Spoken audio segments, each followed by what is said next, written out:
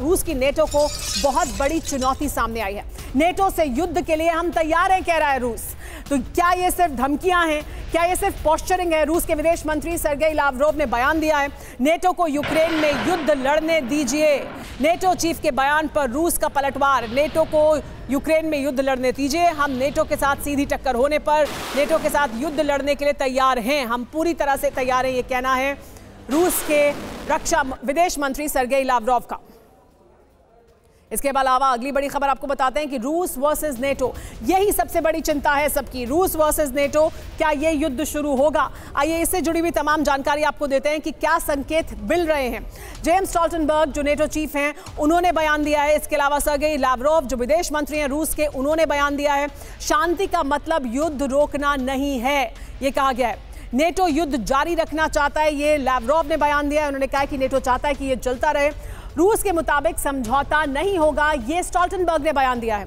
इसके अलावा नेटो से युद्ध के लिए तैयार है रूसी सेना ये बयान लावरोव की तरफ़ से दिया गया तो दोनों तरफ़ से इस तरह के बयान दिए जा रहे हैं जो एक दूसरे को चुनौती देते हैं। अगली बड़ी खबर आपको बताते हैं क्या हो रहा है युद्ध के मैदान में? खेरसौन पर रूस का विध्वंसक हमला देखने को मिला है।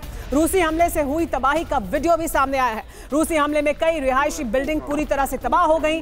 रूस का खेरसौन पर लगातार ड्रोन और मिसाइल से हमला जारी है। एक और बड़ी खबर आपको बताएँ, सामने आई है रूसी ड्रोन अटैक की तस्वीर भी। लैंसेट ड्रोन से रूस ने बड़ा हमला किया है। यूक्रेनी टैंक पर ड्रोन से अटैक किया गया। सुसाइड ड्रोन हमले में यूक्रेनी टैंक पूरी तरह से नष्ट हो गया। एक और बड़ी खबर आपको बता दें, यूक्रेन के काउंटर ऑफेंसिव को झटका लगा है। स्वातोवा में यूक्रेनी फोर्स पर हमला हुआ है। किस तरह से हमला हुआ, देखिए, आगे बढ़ रहे यूक्रेनी सैनिकों पर अटैक किया गया। ड्रोन हमले में यूक्रेनी फोर्स को ये बड़ा नुकसान हुआ है। स्वातोवा में यूक्रेनी फोर्स पर यह बड़ा हमला किया गया। देखिए, किस तरह से ये हमले किए जा रहे हैं। अलग अलग तस्वीरें जो आपको दिखाती हैं कि ऐसा नहीं है कि काउंटर ऑफेंसिव में जो यूक्रेन है, उसे बहुत बढ़त मिल रही हो। रूस की तरफ़ से भी लगातार ताबड़तोड़ हमले जारी हैं। हमारे साथ शंकर प्रसाद जी मौजूद हैं। शंकर प्रसाद जी, जो युद्ध की अभी स्थिति है, दोनों तरफ़ से इस वक्त अपनी पूरी ताकत का इस्तेमाल किया जा रहा है। लेकिन युद्ध की जो ग्राउंड सिचुएशन है, उसे आप किस तरह से आंकते हैं? कहाँ तक ये जाएगा? अभी क्या ऐसा लग रहा है कि रूस ने अपनी पोजीशन को सिक्योर कर लिया है कंसोलिडेट कर लिया है और अब वो वहाँ से लगातार यूक्रेन पर और हमले कर रहा है? बात बिल्कुल साफ़ है। रशिया ने जो इलाकों पर कब्जा किया है वह अपनी डिफेंसेस मज़बूत बना ली हैं। थ्री टेयर डिफेंसेस हैं उनकी और उस पर यूक्रेन हमला काउंटर अटैक करने की कोशिश कर रहा है। कभी सौ गज बढ़ता है कभी दो सौ गज बढ़ता है लेकिन कैजुअलिटीज़ लगातार यूक्रेन के ऊपर हो रही हैं। यूक्रेन की जो फैसिलिटीज़ हैं वो और डिस्ट्रॉय हो रही हैं। और जहाँ तक रशिया की स्ट्रैटेजी का सवाल है रशिया अपने सिलेक्टेड टारगेट्स पर कंटिन्यूसली डिस्ट्रक्शन कर रहा है। एयर पावर से ड्रोन्स के ज़रिए आर्टिलरी के ज़रिए और मिसाइल के ज़रिए।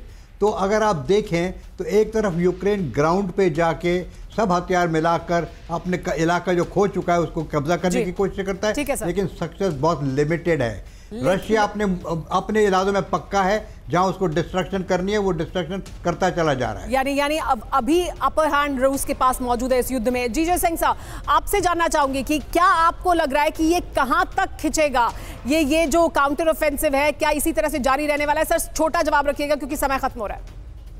देखिए ये टैक्टिकल रीजन मुझे नज़र आता है क्योंकि अगर यूक्रेन थोड़ा लाई लो करता है मार खाता है तो वो ऐसे नहीं खा रहा है। क्योंकि वेस्ट के पास भी काउंटर करने की ताकत तो है और इस टाइम यूटिलाइज नहीं कर रहा। आने वाले समय में जैसे मैं कह रहा था कि समर भी काफ़ी बाकी है समर की पीक आई है और दो तीन इसके अंदर चक्का उल्टा घूम सकता है वो घुमा सकते हैं।